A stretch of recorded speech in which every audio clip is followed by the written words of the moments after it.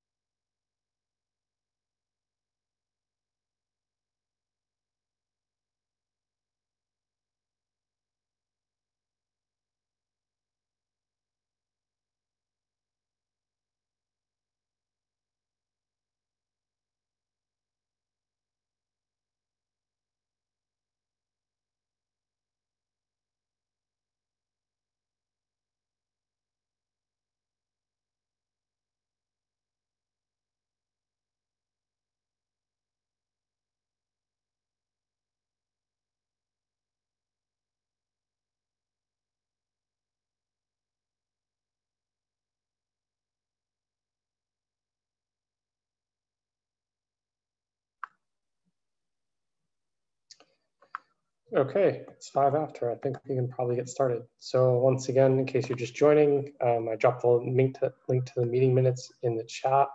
Feel free to add your name Uh, this is the weekly meeting of the CNF Working Group. Uh, we meet every Monday at 1600 UTC. Um, before we jump in, is there anything that anyone would like to add, the, add to the agenda?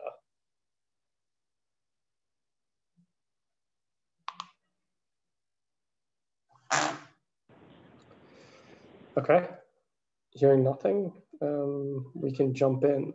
So the first thing I wanted to talk about is the voting. Um, so thanks everybody that's participating. Um, does anybody feel, first of all, did, did anybody not receive a ballot and think that they should have?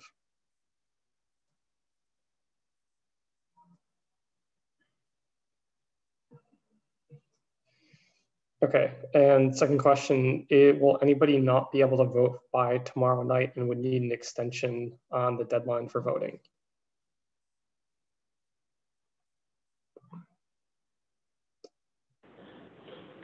Hey, Bill. I put the time zone next to midnight just so people are tracking. If for whatever reason they're cutting it to the last minute. Okay. Um, at midnight. Uh, ah, yeah, thanks. Um, yeah. And then the other thing is, so once we have the co-chairs elected, we can start um, the tech lead elections after that.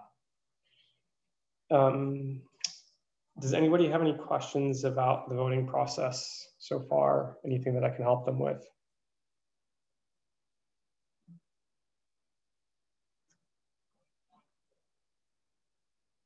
Okay, um, if you do, please feel free to reach out to me on the CNCF Slack. Super happy to help. Um, just trying to make it as easy and as transparent as possible for everyone.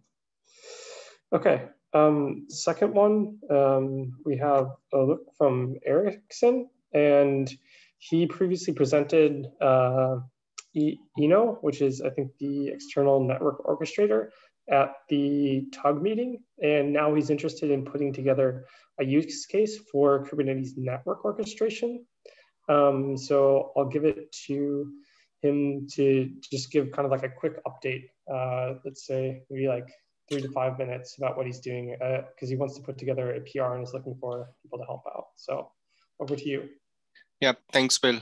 Uh, good morning, good afternoon, good evening to all. Yeah, so we presented, you know, that is the external network operator in the last telecom user group. Many of you might have joined that meeting as well and have gone through the proposal and the idea which we are kind of trying to float in this community. And I had a follow up uh, discussion with uh, over the email with Bill and Tal about how we can take it further. And one of the suggestions which I got uh, is to write a proposal in as in like a, a use case uh, there is a template which is available in the CNF working group uh, repo. And we just followed the same notations and nomenclature and been writing the proposal. It will be available in a couple of days, one or two, uh, in, in, in, in the form of PR in the repo. But uh, so if if anyone would be interested to be as part of reviewer, please let me know. Maybe over the Slack or just in this meeting, I can add. I'll, I'll be happy to add them as a as a reviewer. And yeah, that's it. I guess from my side. Cool, thank you. Um, so looking forward to that PR and the use case um, coming out. So if anybody wants to be added as a reviewer to the PR, um, please add your um, GitHub handle to the um, meeting notes and I can add you there. So um, any questions about that or we can keep moving on.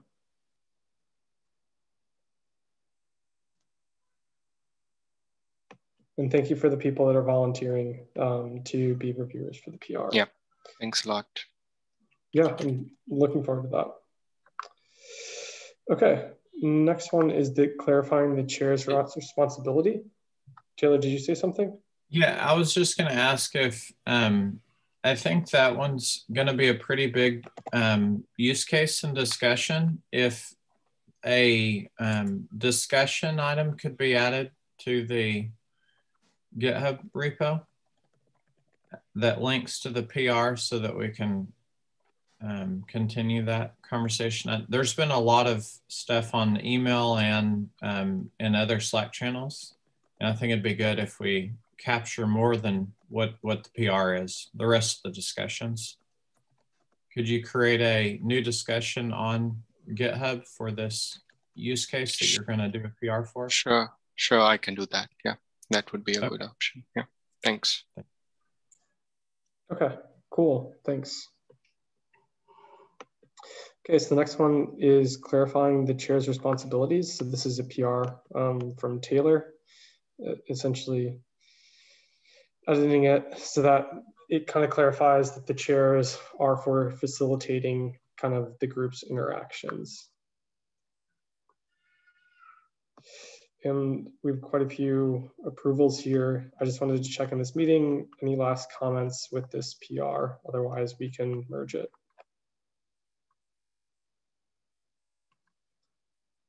Okay, cool. So thanks, Taylor, for that PR. Um, the next one is adding the glossary to the contributing. This is my, uh, or this is this is Lucina's pull request. Um, so thanks for updating this. This is adding essentially just a link to this and the contributing documents that as people come by and are wondering where they contribute, they can add to the glossary. I think this is pretty straightforward. And unless there's anything else, I'm quite fine with merging this one too. Okay. So thanks, Lucina, for that. Um, the next one is Ian on the call today. I don't see him, but um, in case people had missed this one, this is about the rules. Um, yeah, thanks, Lucina. Um, is about kind of how do we do, how do we see what companies are associated with each other? This is out of the discussion about the voting rules too. Um, we have two approvals so far. I guess does anybody else want to like look at this or be added to the reviewers? I think maybe we wait another week until a couple more people have had time to look at it.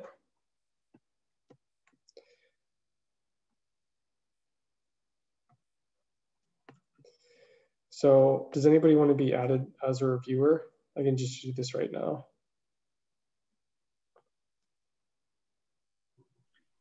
Bill, can you add my name there? Yeah, that's Victor, right? Yep, thank you. Okay, cool, thanks. Anyone else?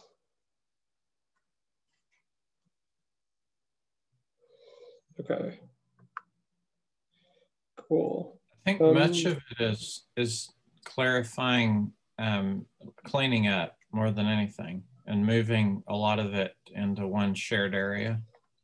Yeah. Um, the next pull request is around having a timeline for the interested parties just for the legal departments that want it to be more clear and people can give people deadlines. This is essentially a one line pull request. I actually don't know. Is this going to go because Taylor, you pulled out the interested parties into a separate um, into a separate file. Will this go into that file? That would make sense to me. What?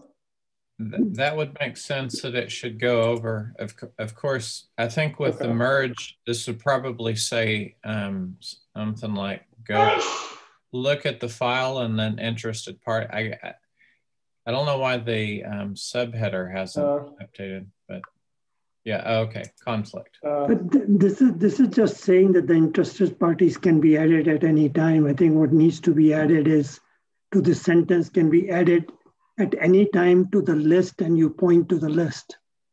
But the but the statement still belongs here.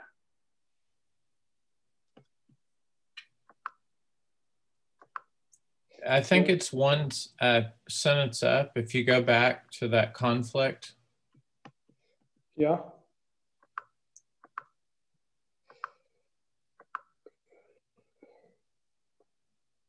Okay. Um, above uh, each organization, yeah, right where it says each organization.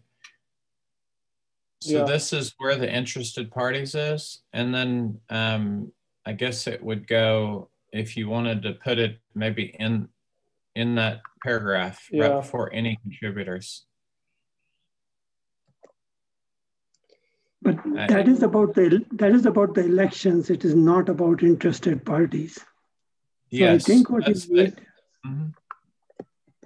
you, I think you need a section on interested parties before you have a section on elections and it should say that you can add interested parties at any time or whatever time frame you, you want to specify and where that list is. This is in the election section. This only says each organization shall have one vote. That's what it is, right? Yeah. But the definition then, of what is an interested party and how you modify it uh, needs a separate section by itself. Just a thought.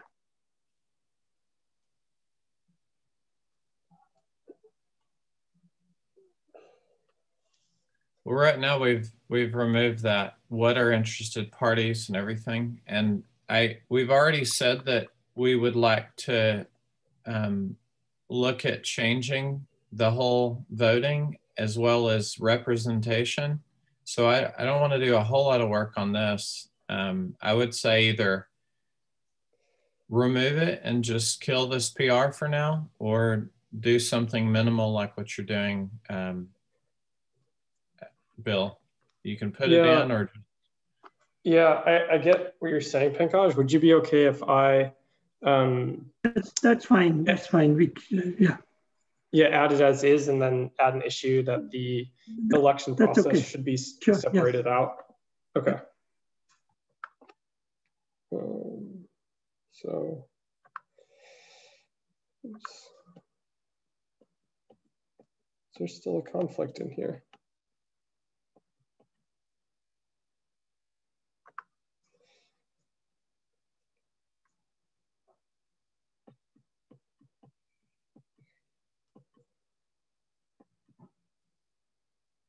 Oh, did I do this the wrong way?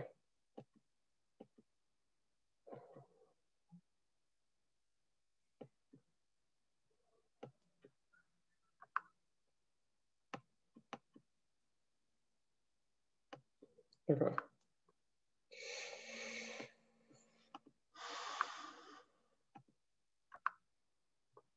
And then um,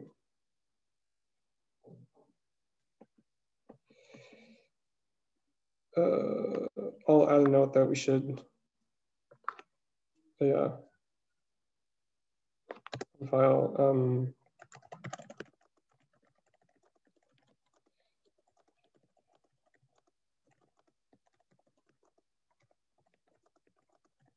so we'll create an issue for that. Cool. Um, Ian, I, I saw that you commented here about this. Yeah, uh, really, it's not. Um, I, am just saying my opinion. Um, other people, no doubt, have other opinions about what a use case is. It shouldn't say a use case should not say ENO is great, ENO does this, ENO is marvelous. A use case should say here is an abstract problem I have to solve, so that you can show that ENO is great by solving the problem in a separate document. Sure, yeah, I took a note of your comment in the Slack channel, and definitely we'll put along the lines as per your suggestion. Yeah, that's that's yeah. fine. It, I mean, I guess I've got my skepticisms about whether ENO is right, but here's your chance to prove that you, you know, demonstrate it to me. Um, but I don't Sure. want you to basically, if you write ENO is a thing that we will be using, then then you don't really get the chance to prove how great it is. That that's the Yeah. thing I want to see. Makes sense. Yeah. Okay. Um, I don't know if you heard Ian, but this that what you're talking about is uh, one example of why we need a, a GitHub discussion so that we can add more comments than just the PR. Uh, yeah, I, I mean, I would take either, but I totally sympathise with what you're saying. Um, I'm, I'm not going to say don't do it because you're doing it in acad- uh, in administrative slightly the wrong way, but you know, it just might mean that the PR doesn't get accepted. But um, yeah, um, either way. Well, on this topic though, right? Like the use case should be network orchestration and should be like completely agnostic. Then a best practice using Eno would be a proposal, right? Like the, the whole discussion versus Exactly. PRs, this and that. Like, like what use case are we trying to fix? That's a PR. How are we going to fix it? That's another PR. Mm. That's where I was going with that. Yeah. And speaking of that, we do have one use case on the table right now. Um, so this is from uh, Vuk. Um, so this is about the what happens when you need to manage the infrastructure lifecycle and what happens to the CNF during that. Uh, Jeffrey, I saw that you had a comments nine minutes ago, um, but we're also looking for more people to add some reviews to this. So is anybody else interested in reviewing this? And I think the, the process of like how this gets like approved and managed through, I think will become more clear once we have some tech leads um, that will kind of like help shepherd this along too. Bill, can you add me to the reviewer list? Yes, and I was planning on reviewing it as well. If you add me as a reviewer, I suppose that's a reminder. Okay. What is your? What do we think a best practice Yeah, would look like when it comes to the end of this? To ask a silly question. We- oh, oh, Sorry. I think this Yeah. is a use case, Ian, that would spawn multiple best practices personally. Um, and so, yeah, I did a couple last minute. There was a few that I forgot to hit um, submit my review. So that's my bad, Bill. But I did a pretty sizable commit. Like I talked to Vuk and just did some like basic like editing and stuff.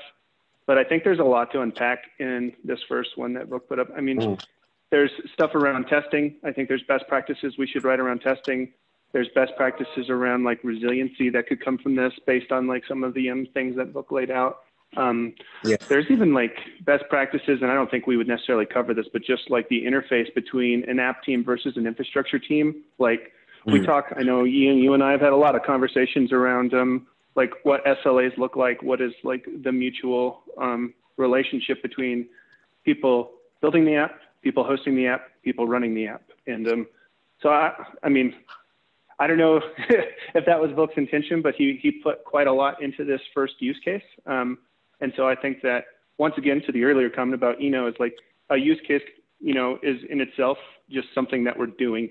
And then one or multiple best practices could potentially, you know, try to address said use case. And in Vuk's instance, I think it would take like almost a baker's dozen to unpack everything.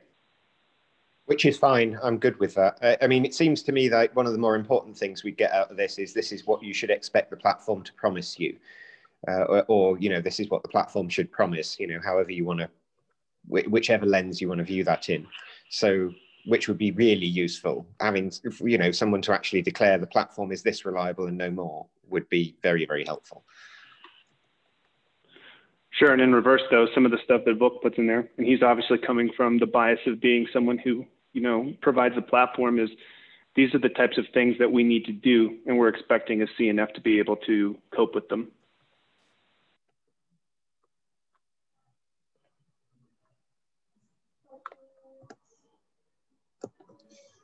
Yeah, sorry, I'm just trying to write these down in the background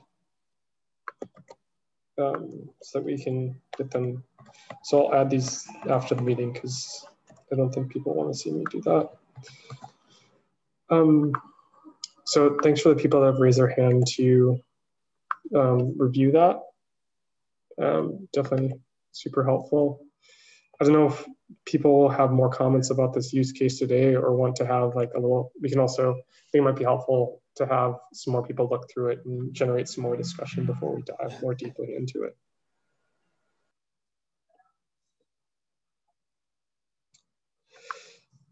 Cool. Um, next one is creating a pull request template. Um, so this is an issue from Lucina and we, something we might want to consider to help out people that want to contribute. Um, and so the type of PR, the description, the motivation context, and I, I think we can actually probably use like some of our, include some of our templates too. Um, so if anybody wants to take a first stab at creating like a pull request template, uh, looking for volunteers.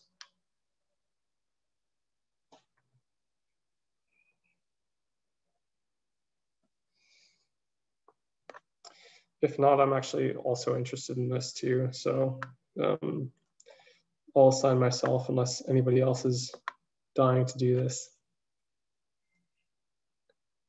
Okay. I can help as well. Okay, thanks, Lucina. Maybe I'll um I'll run something by you later this week once I have something.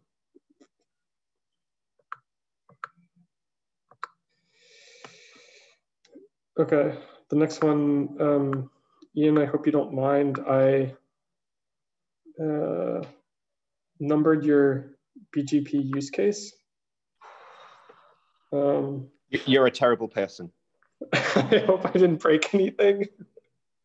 um, that's fine. I, I, have no problem.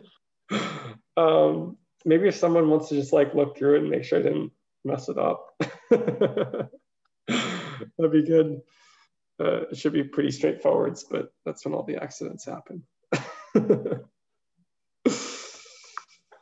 um, yeah. Uh, the next one is so Taylor started out. He broke all the um, the the checks that we had, um, but now fortunately they're well they're not green. So Ian won't be super happy, but he has a draft PR because um, we've kind of we originally talked about conformance. Now we're switching to best practices. So if people want to like help out with this, um, feel free to jump into this too. Um, Taylor, I can't remember how it does, and you'll have to read the documentation. But that obviously it's a link check to check for valid links, and in a in drafts, it may well be that you intentionally have broken links in particular um, sorry, in what am I talking templates, you might well have broken links intentionally. You don't want them to work. Um, I think you can put exceptions in for them by putting a comment in the markdown, but you would have to go read things, I'm afraid. Yeah, I think he probably broke some because it's changing the name of some of the files. Oh yeah, that would do it. Yeah. Um, but yeah, if anybody wants to help out with this draft PR, I'm sure Taylor would welcome the help too. Yeah, for sure. I'm I'm trying to go through all of them. So if would if we um as I'm go, going through, I'm basically clicking on that branch, that rename conformance definitions branch, and then going through and updating all the docs. Uh, to fix links, like you're saying, Ian, um, some of it's going to be pointing to existing new docs, and some of it is going to require renaming stuff, like the um, the actual best practice name, which is we have conformance definition proposals. So that'll rename the folder and other things. So I'm sure there's going to be lots of broken links and lots of wording that's still using the other language. So yeah, anyone that wants to help, would, I'd appreciate it. So does this mean that CNF conformance, the repo, is now CNF best practice? No, so those are two separate repos. So if I go to CNF um, conformance, this is actually a separate repo. Yeah, no, I, re I realize that. But if the is the test suite still a conformance test suite or is it a best practice? Is it conformance against best practices, I guess? Yeah, exactly. Okay. So I, I wasn't bringing it up on this. There are plans to um, split up. If you scroll, can you scroll down, Bill? Yep. Uh, to the README uh, until we see the actual content. No, you can keep scrolling. Oh, keep okay. scrolling. There we go. You're right. So uh, something that's confusing on this is um, we're talking about the overall high level conformance program or the efforts to have um, potential, I guess we could say best practices, but the overall program and efforts, which would include maybe certification, but none of that's there right now. So we have this big program, and then we have the actual software, the test suite, which right now is focused on best practices and giving feedback. It, there's no certification. So we're planning on splitting these up, and that would be similar to the Kubernetes conformance. There's a repo and a whole conformance program that's completely autonomous and runs separately as far as like the governance and decisions around that from the test suite. So if you're if you're looking at the Kubernetes E to E test, the decisions on what's you know covered and stuff in that, that's done completely separate from the conformance, which is a selection of the test. And so we'll do the same thing around this and split it up, and then it'll it'll be a lot more clear. The CNF working group our focus right now is what are all those best practices that could be tested. The test suite could test them. And then a conformance program, if we move forward with all of that, would be saying, here's a way to say that you know you're you're following all these best practices. So it all come together. Does that make sense? Yeah, it does, yeah.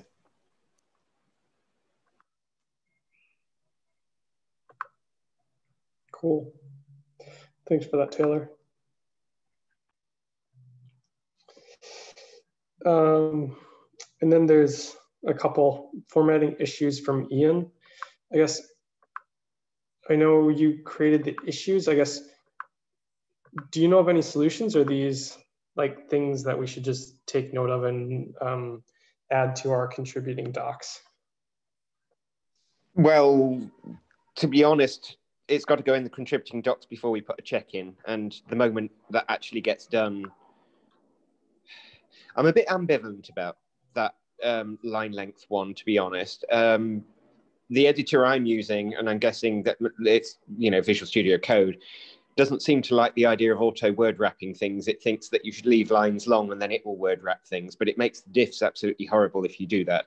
Um, I imagine a line length check is, you know, 100 lines of Python to actually make the check happen. So I guess we could write one in short order. I would prefer to make sure that it's not just my opinion on the subject before I actually go out and do that. Because otherwise I will be hated for making everybody word wrap their markdown because it forever fails tests, as opposed to everybody signing up to, yes, I will do 80 character markdown because I like your ideas. Um, I guess question is why 80? Is it, is it an arbitrary number? Yeah, it was. It's just a number that basically allows individual line diffs to work um, because that doesn't work right now. And again, you're welcome to tell me it's a really bad idea and you should never consider it again. I don't think it's a bad idea. I just think 80 is a bit short. That's all. But that's my. But you know, my, my, my green screen console only has 80 characters across.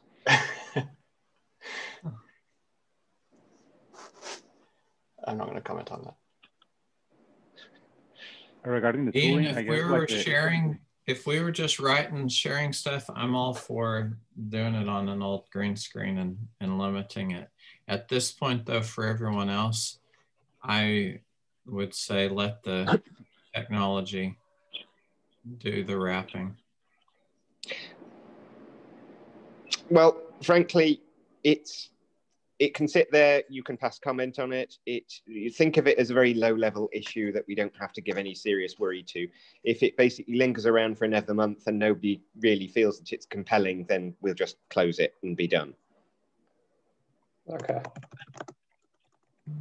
Maybe we should find uh, an example of a, of a short and a long uh, line diff so that we can see what the readability looks like in, in GitHub. Because I think this is going to come down to how well does GitHub show long lines? Like you have to scroll to the right because it's uh, because of GitHub's lack of auto wrapping, or uh, does it allow you to show that in a really nice way? And uh, and then we, it becomes a non-issue at that point for for most of the users, though it may still affect people who review things in, in command line. But I think that that'll be uh, that'll be a minority of users who can build their own tools to auto wrap it and uh, try to work things out.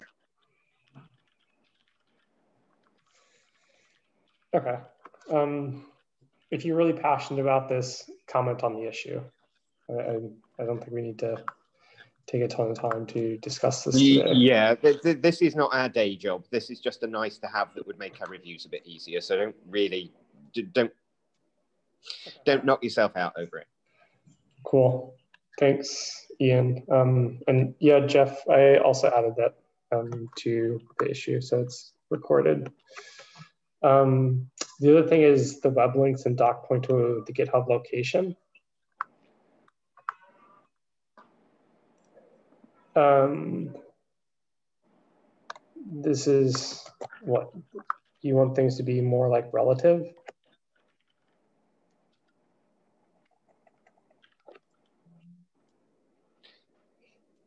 Um, yeah, it just needs relative relative links. Otherwise, what's going to happen here is any branch that you create will link back to the the trunk documentation, the master documentation, so nobody will be able to review it as process markdown for one.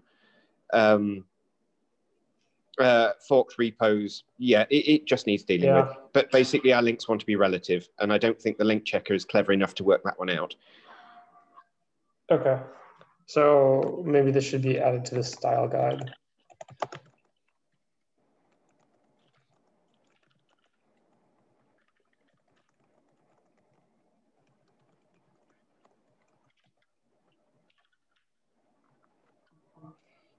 So that's also, this is a really good first issue. Anybody wants to tackle that one? Um, uh, another one just related to that is also updating from master to main um, from like the GitHub thing, I guess I haven't looked at, I haven't read into the documentation, but I'll probably do that later this week. Or if anybody else wants to or has experience, I'd love to hear kind of their experience, like switching other repos over. What are we trying to do here? Is switch the uh, default branch from master to main. Why? I'm I'm up for taking that on. It's pretty straightforward, and we're trying to do that on all the other ones, um, like all the other uh, repos.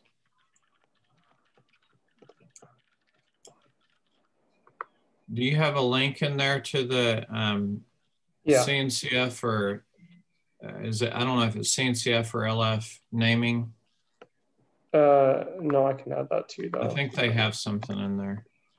Yeah, but this is the documentation from GitHub too. Yeah.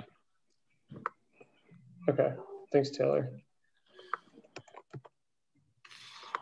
Getting rid of language that's rooted in um, wherever problematic because of its background. So master would be one of them. And that's happened, I think, multiple years ago for uh, GitHub. It just hadn't gone across all of CNCF. Yeah. Okay, thanks, Taylor. Um, Frederick, um, it looks like you recently opened a discussion 15 minutes ago. Uh, would you like to discuss? So the basic idea is to propose a bump in the wire, well, actually, I should say a hello world use case. And this is something that I had spoken about uh, a month ago or so here. And the idea is basically to put together a, a use case where we have an advanced use case, uh, which uh, Ian gave an advanced use case that we can focus on, but also to have a very simple use case that we can ask the question that as we're solving problems for the advanced use cases, are we overcomplicating best practices for a simple use case? And a bump in the wire firewall is uh, a possible easy use case we can focus on that uh, that basically uh, serves a specific uh, that that specific role and, and the idea was to basically have it set up as a as a transparent firewall um, there's other transparent things that we could swap firewall with as well but i figured a firewall was understandable enough that people most people who are non-networkers if they're coming from an enterprise background or similar they understand what a firewall is. They may not understand other forms of, of packet treatments that are that are there.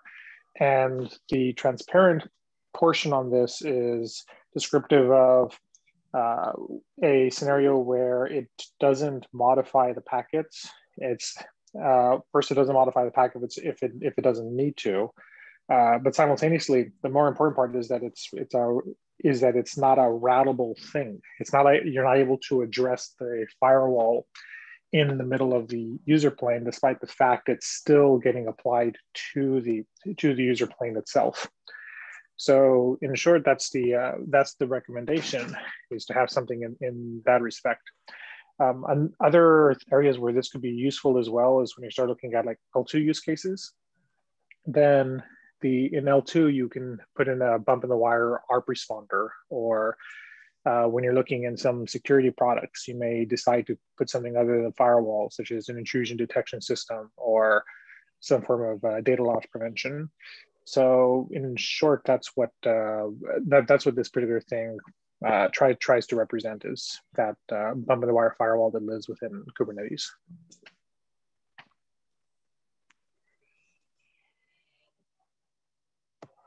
Cool. Uh, any questions, comments, thoughts? So I think this one it'll be interesting and tricky, um, depending on like how we describe the firewall and what the firewall best practices are. Um, I can tell you like this thing right here is something where non-CNF stuff, but just typical Kubernetes things. If you look at Vuk's use case, around being able to provision new nodes and, um, you know, taint nodes, migrate pods, all this kind of stuff, do upgrades.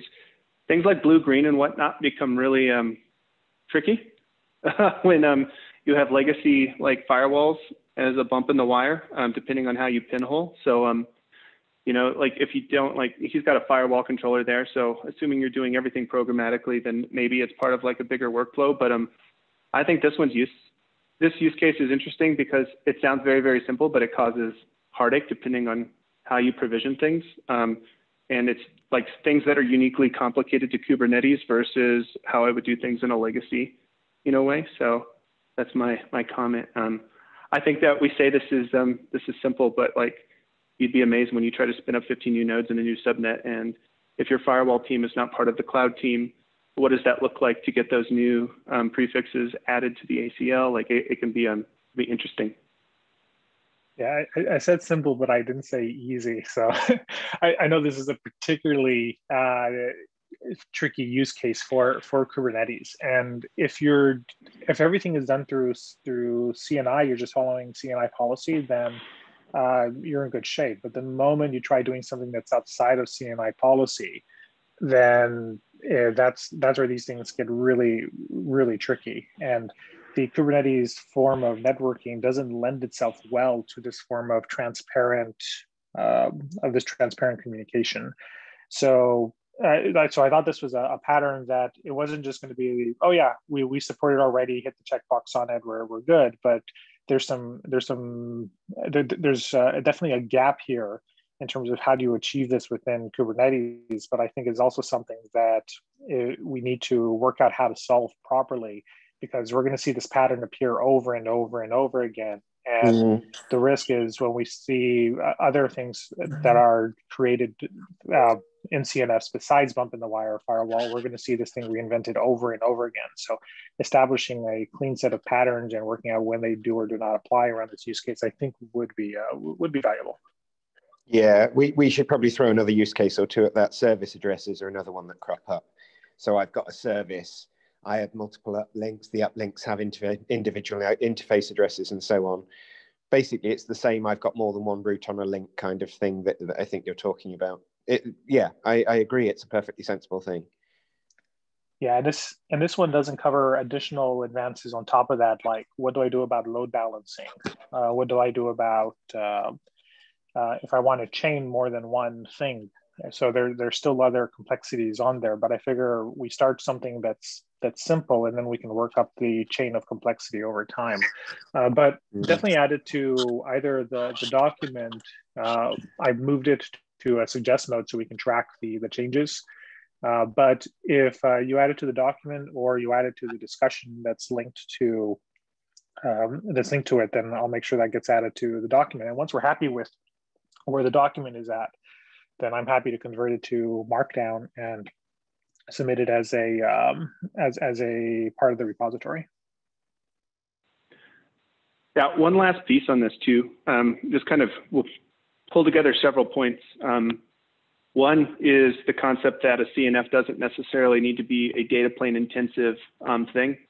So I can tell you, like coming from like the service provider bias, um, we run things like network orchestrators and Kubernetes that have really weird and picky egress um, requirements, right? Like they need to have reach to certain parts of our network. So um, a best practice could just be um, egress gateways or you know something like that. Like I think this is interesting because I think multiple best practices, which is another point we were discussing earlier, could um, spawn from this depending on the type of workload. So this comes back to um, the glossary. A, we need to define what a CNF is. Um, so that way we can talk about how a best practice you know, actually applies to it. And then B, um, I don't think a CNF is just what we typically want to like focus on, which is like some, you know, data plane accelerated, really cool high performance network function and just simple things like um, I have a network function that has layer three requirements, which means that it actually cares about the node IP address as its source. So then if I have this transparent firewall in the way, how do I do basic cloud native operations um, when layer three is constantly biting me in the butt?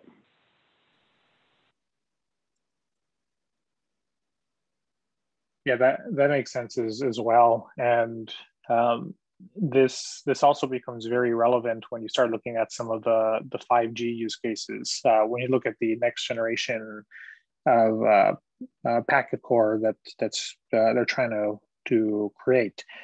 And as we start to look at some of these things, like some of the components around authentication and authorization are decomposed into multiple parts, and some of them are just this is a database that has state and this is uh, this is something that'll perform some authentication action for you and then the result of those programs a uh, a data plane somewhere. And so over over time like that that thing can look like a, a bump in the wire firewall to whatever it is. It turns out to be a tunneling proto- protocol or or something similar. But to the uh, but it still needs to be addressable in a way to the rest of the infrastructure so that you can still get that control and and manipulation and this is one of the reasons I, I try to avoid the term uh, CNF in, in the discussion was to avoid the argument about what is a CNF versus what isn't, but instead to focus on the heart of the matter of, of what's trying to be what's trying to be solved. And one of the things we've done in the network service mesh community is we stayed away from the term, even though we, we use the term CNF, but when we start talking about it in a concrete area, we talk about things like network services, something that provides a network service, or an endpoint, something that you actually connect to. And uh, multiple endpoints uh, can uh, can provide a network service that you can then scale up those endpoints up or down, but they're all part of the same umbrella of network service, whatever you're trying to connect to. So, so I tried to use something that, along those lines as opposed to something that's a little bit more. Uh, I don't want to use the term ambiguous because it, it's not really ambiguous, but it's something that there, there hasn't been uh, a clear definition around as to where do we want to draw the line between an application or uh, or a component.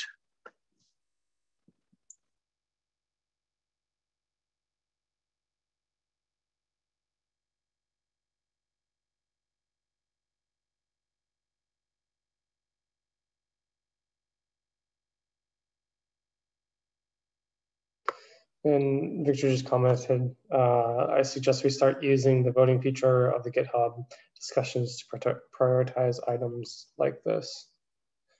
Yeah, so I'll about that too.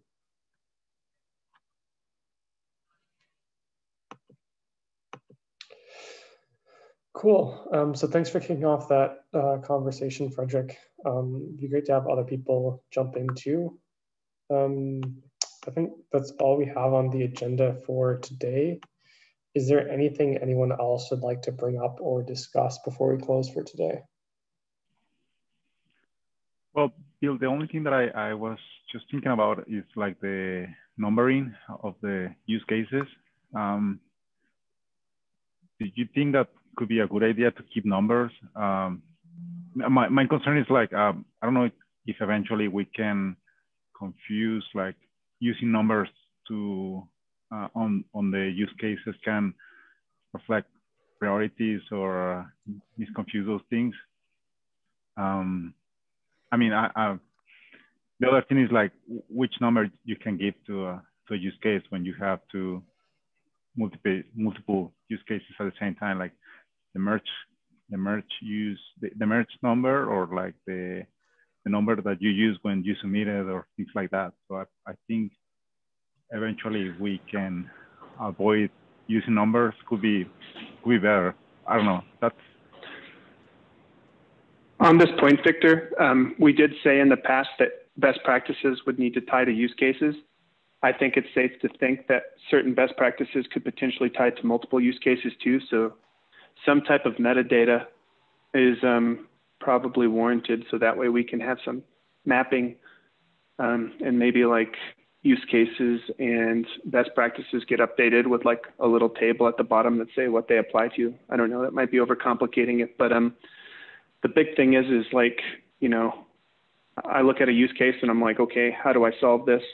What, what is the metadata that leads me to the best practices? That would help me overcome the challenge, especially if there's not a singular best practice, but maybe there's multiple ways that the group at large deems as valid, you know, means of solving it. We probably want to plan for that. Okay, so so you think that using like a number we can group, or at least I don't I don't I don't know if that's the right way or not. Like a, um, I just know that metadata so that we can track what goes to what is at some point going to be relevant, and the longer we go without it, the harder it'll be if, you know, we have lots and lots of stuff that we then start saying, how do we map all this together? Yeah, I guess we originally started giving numbers because it's something a lot of, like in Kubernetes, the KEPs are all numbered too. Um, just, yeah, to make it easier to keep track of. And in terms of like merging them, uh, I mean, if we're having like hundreds at once, it might be a problem. I think at the scale we're at right now, um, we can still kind of keep track of the numbers. It, I mean, if Kubernetes can keep track of the numbers for KEPs, I think we could probably can too. If we find that's a problem, um, maybe we rethink what we're doing. Yeah, I don't think it'll be an issue with merging, Bill. I think it's just, um, you know, let's say I have four different ways to solve network orchestration?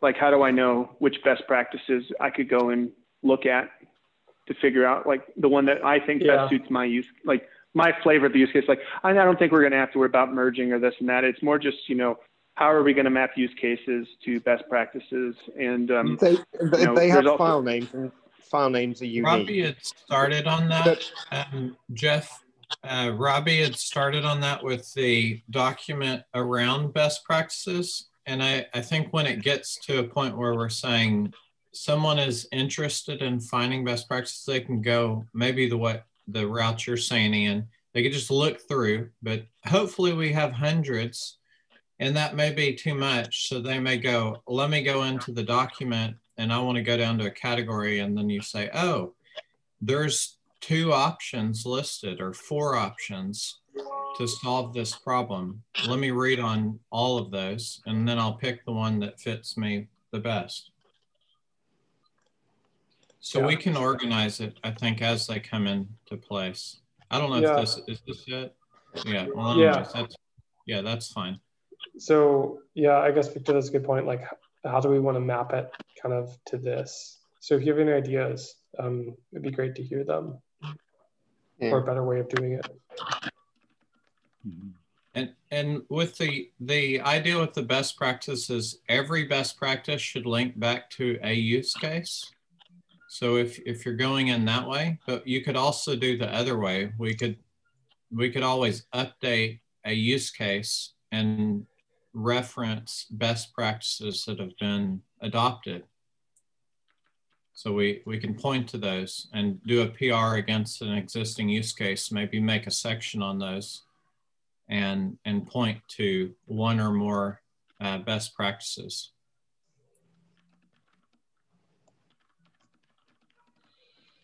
Yeah, I don't think we have to solve it right this second. I'm just saying at yeah. some point, like Vuk's, Vuk's PR, like I said, is going to spawn multiple best practices, I think.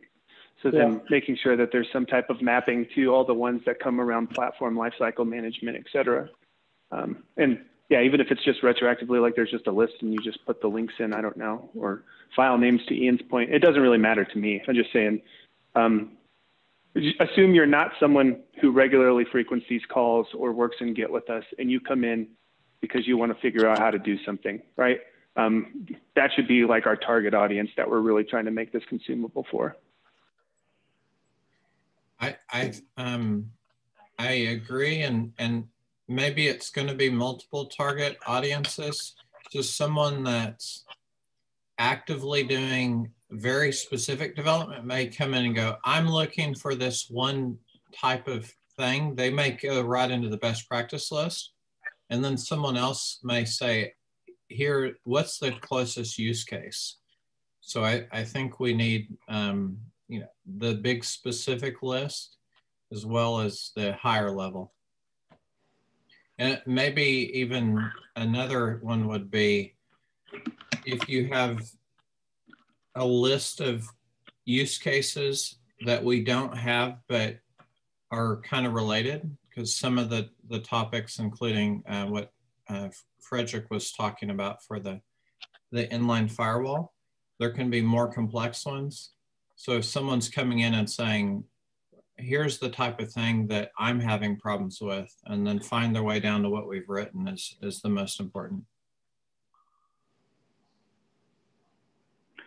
So the other thing that I was thinking is like, this seems to be like a change in the template. So maybe we can, I mean, if the new use case are not at least having a one best practice, uh, I don't know if that makes sense to included as part of the, the best practices, right?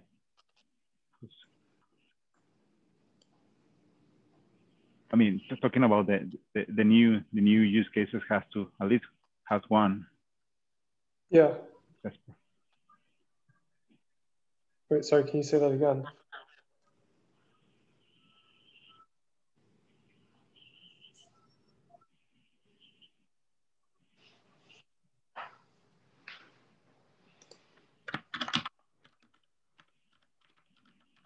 Victor, are you still there? Yep, sorry, what was the question? Oh, sorry. Um, can you just say, say that again? Or did you?